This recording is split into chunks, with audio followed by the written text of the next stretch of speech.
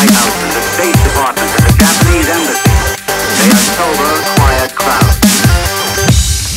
excitement among a crowd of 150 newspaper men, jammed within the lobby of the White House Executive Office. For a comparatively few feet away, the President is dictating the first draft of a message to Congress. That much is announced